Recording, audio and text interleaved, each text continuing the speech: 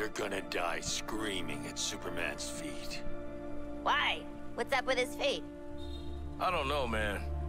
We're two for two on killing your boys so far. Vai trưởng Anh tôi Thế quái nào mà một đám lót chuốt Suicide Squad có thể hạ gục anh tôi một cách nhảm như thế Dependent on someone else to survive. Like you, Harkness.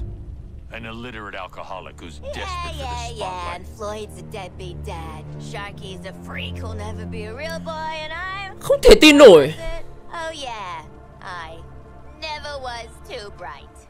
Get some new material, jerk off. Đây là cách Joker. Used to be Rocksteady đối for xử với idol của tôi Một cách thậm tệ như thế này ư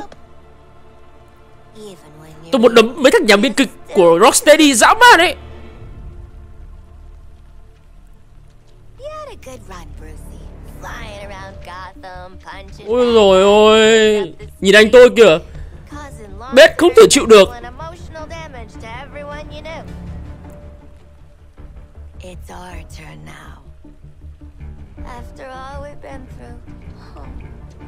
Bet you didn't think it'd be me at the end, huh, Are we done with your bad stand-up routine? Almost. But you always gotta end on your best. Hả? Batman Bị Harley Quinn giết.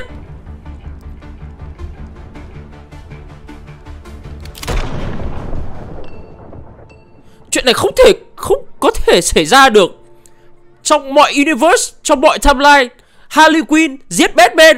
What the fuck? Chắc hẳn bạn cũng biết, Batman là một đấng vô đối trong lòng chúng ta Và là nhân vật được mọi người yêu quý nhất Trong lịch sử của comic. Sau 16 bộ phim điện ảnh 9 bộ phim hoạt hình Và hàng nghìn những cuốn comic Và Rocksteady quyết định chơi bẩn anh tôi Đến thế này đây là sự xúc phạm không hề nhỏ đối với Kevin Conroy, người đã lồng tiếng cho Batman trong cả một thập kỷ qua. Ông ấy vừa mất và đây là những lời thoại cuối cùng của ông ấy. Tôi không hiểu Rocksteady nghĩ gì mà cho Batman chết một cách lãng xẹt và nhảm đến vậy. Chúng ta phải đổ lỗi cho không ai khác ngoài nhà biên kịch của Rocksteady khi họ đã và di sản của chính mình